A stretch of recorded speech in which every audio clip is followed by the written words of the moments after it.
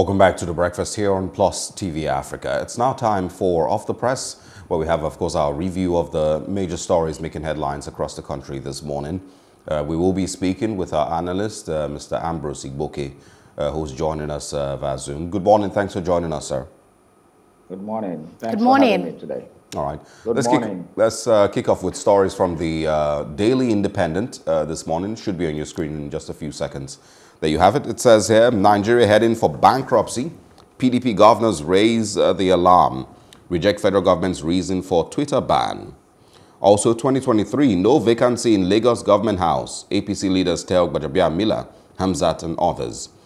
Uh, customers dump POS, return to banks, uh, ATM and other channels. Lalong charges community on surveillance as gunmen kill 12 in Jos. South-South leaders berate Buhari over a dot in circle remark against Southeast. End terrorism in Yoruba land, pan-Yoruba groups tell federal government. And also how my successor will emerge, that's from uh, the Kano State Governor Ganduje. Uh, Soyinka, uh, Wole Soyinka, beg your pardon, says that Buhari should start talking like a leader. And uh, of course, moving to the south, south, it says here, open grazing is buried in southern Nigeria. That's from Clark. Condemns federal government's uh, and northern elders' silence over jihadist ultimatum to Delta. Yoruba youth leaders vow to enforce open grazing ban, give herders 48 hours to quit Delta.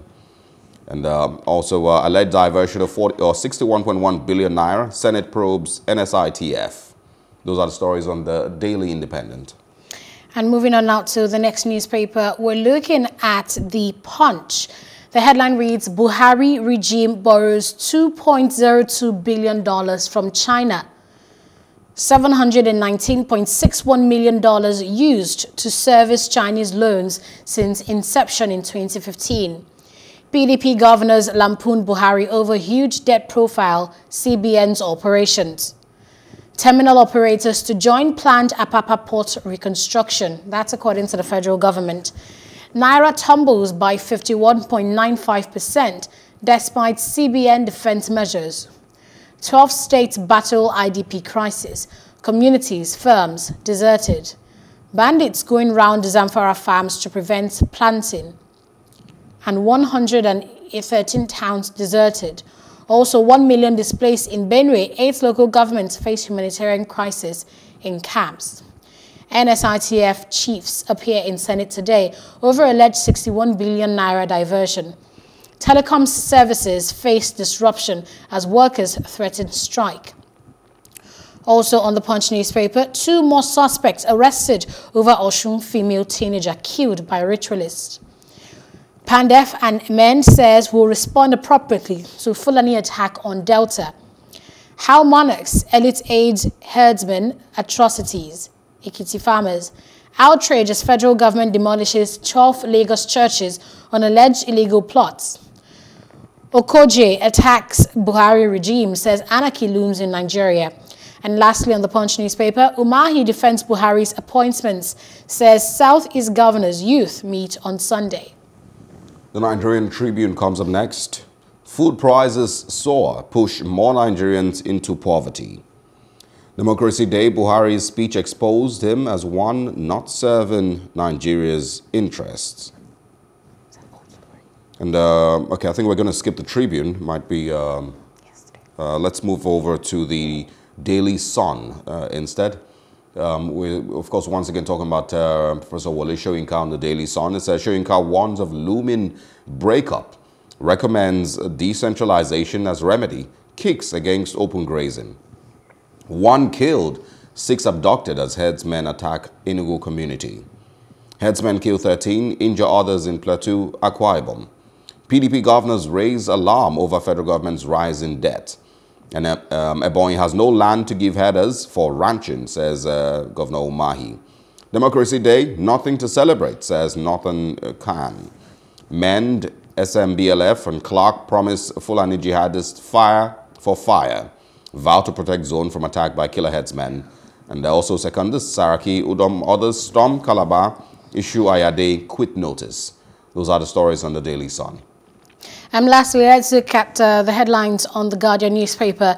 Nigeria on suicide slide may not see another June 12, uh, Soyinka warns. Urges presidents to stop excluding false, exuding false confidence, listen to citizens, restructure the country.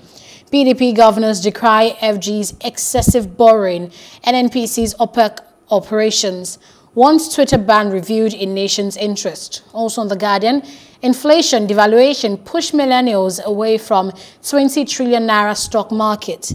Pan-Yoruba group seek end to terrorism, supports self-determination. Senate probes NSITF for alleged 61.1 billion naira diversion. COVID-19 shortens Africa's blood banks by 17%. 17 people killed in fresh plateau attack. Outrage as 600 NNPC applicants lament exclusion two years after exercise. I think those are the stories we're looking at this morning. A warm welcome again to you, Mr. Ibokwe, Public Affairs Analyst. Yeah, thank you very much. Igboke, please. Yes, Igboke. Um, on the different newspapers we've seen this morning, there's a warning here by uh, Soyinka saying that Nigeria may not see another June 12 and that the country is on a suicide slide. Um, do you agree with this perspective? Yeah, uh, to the revered uh, Nobel laureates, um, we have heard this kind of uh, warnings too many times, and at the end of the day, uh, it doesn't come to uh, fruition. I remember that uh, between 2014, um, when Nigeria's amalgamation was 100 years old, we are being told between 2012 and 2013 that, that the contract for uh, amalgamation of Nigeria was 100 years, and that by January 1st, 2014, it will be 100 years, and that Nigeria will cease and each uh, nationality can go their way. Uh, we, are still, we are still here, almost seven years later, seven years later, we are still here. So what is happening now is that um, I would rather told the line of uh, uh, Bishop Hassan Kukah in his book, uh, one of the, his books. He said that uh, that the unity of Nigeria is like a Catholic marriage. Uh, it may not be happy, but it doesn't break up. Um, that is what we have been experiencing over the years. Um, we just it's just a policy shift of the government, one policy shift of the government that to make things come back to normal. Um, if we go the right path, for example, the latest uh, incident that is hitting the polity hard is the uh, headers uh, uh, uh killer activities, burning farmlands, destroying crops, looting, raping women, killing village, sacking the whole villages and murdering people. If that policy, and that is because some they are being allowed to do it freely. If they are confronted and decimated by the military, then Nigeria will go back to peace and prosperity. So just one policy shift that will make Nigeria better. But uh, uh, Nigerians have a way of coming back and bouncing back after all the crises. Imagine, imagine 1993. Between 1993 uh, and 1994, it was a big, it was a very big crisis in Nigeria. Universities were shut down. Nadeco was there. Uh, June 12 crisis, everything. Uh, I remember that uh, universities missed one year it was a very rough period. Yes, we came out of that. Uh, so um, I, am not enthusiastic about that comment, and uh, uh, we have said so many times before, and nothing happened. All right. Um, also, to get your thoughts on uh, the uh, southern leaders, and of course, Edwin Clark, mostly in the papers this morning, saying that the president's call for grazing routes, you know, would not be accepted by southern Nigeria, and uh, the ban on open grazing stands. There's also been um, uh, uh some uh, uh, groups in the Niger Delta making you know similar stands. so let's get your well, views on the president still pushing for grazing um, routes across the country and the reaction from southern leaders.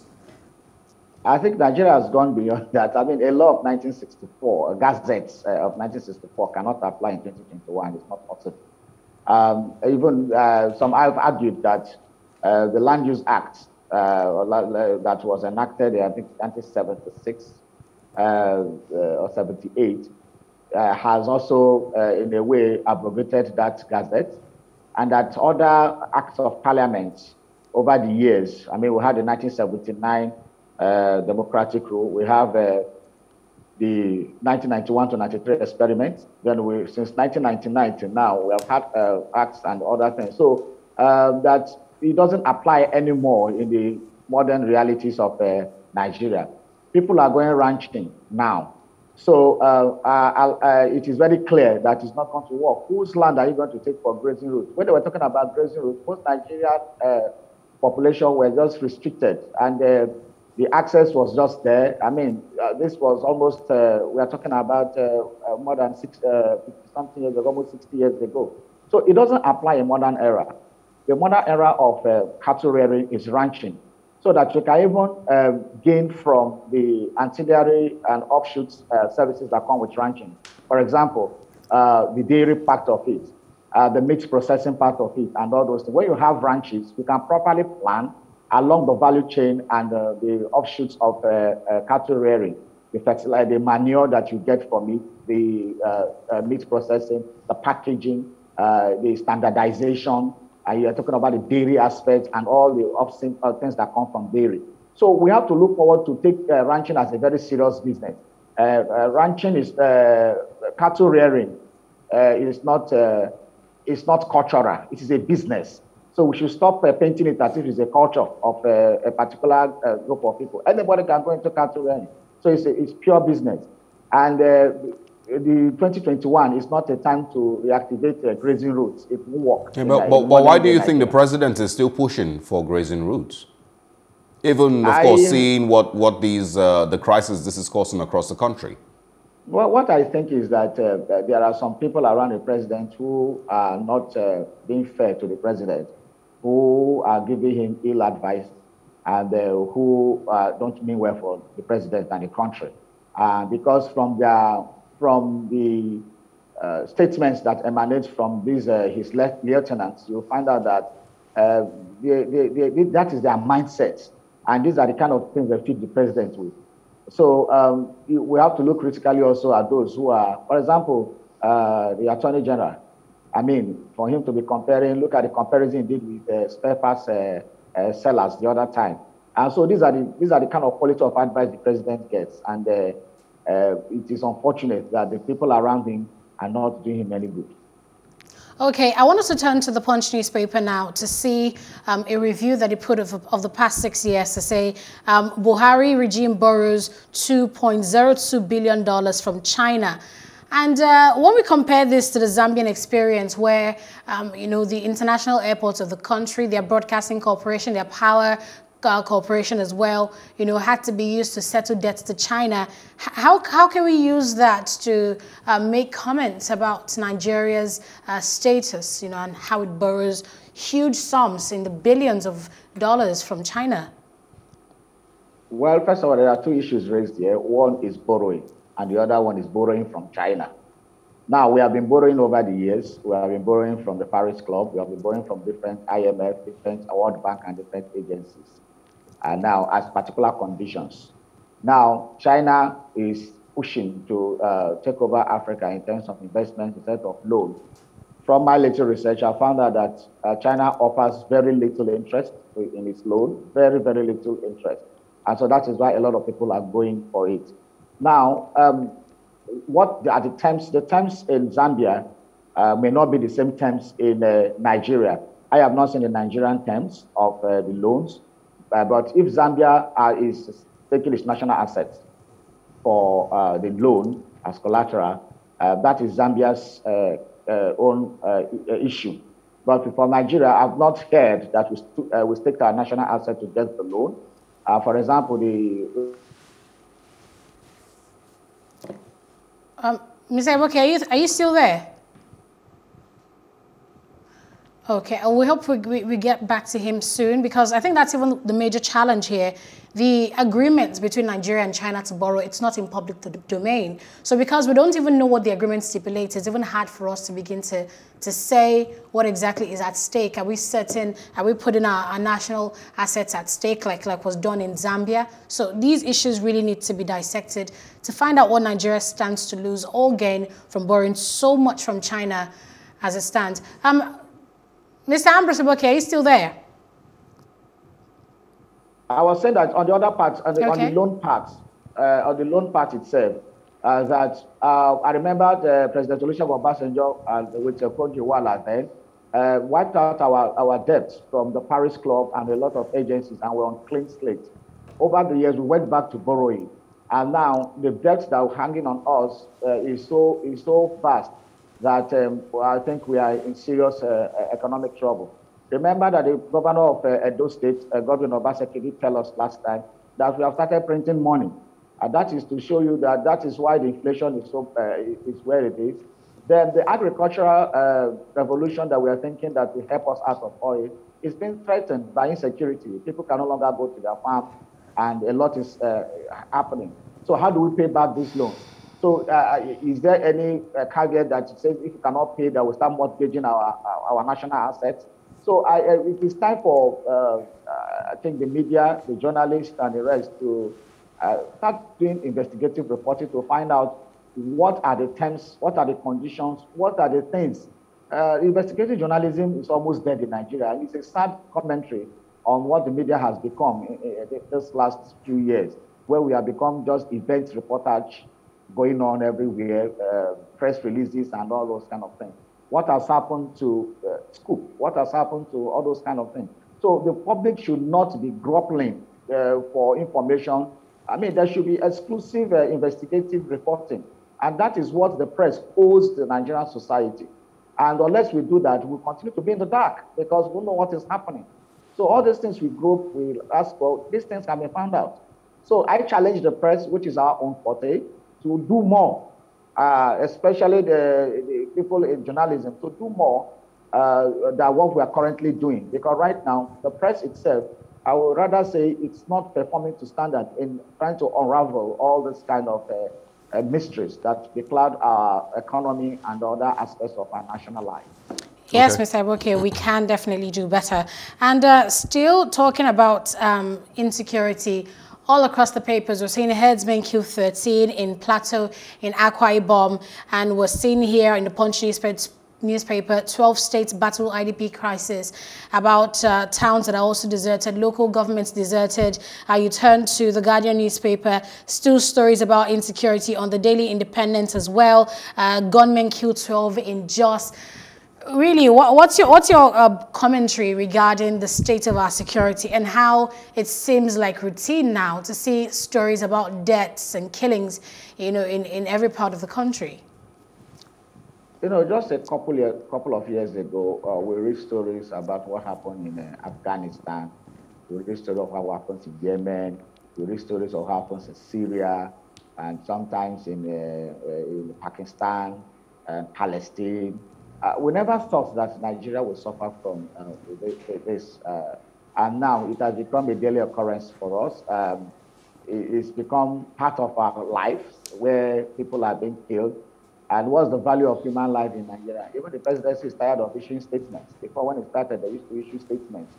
Uh, those days uh, of uh, Jonathan, they issue statements. Even the uh, current presidency issues statements. Now, we don't even hear statements anymore. So that becomes, it has become part of our life. Uh, it's just like somebody saying, you issue statement when you eat. You don't issue statement. So this is where we have um, actually dived to. I mean, we have descended to.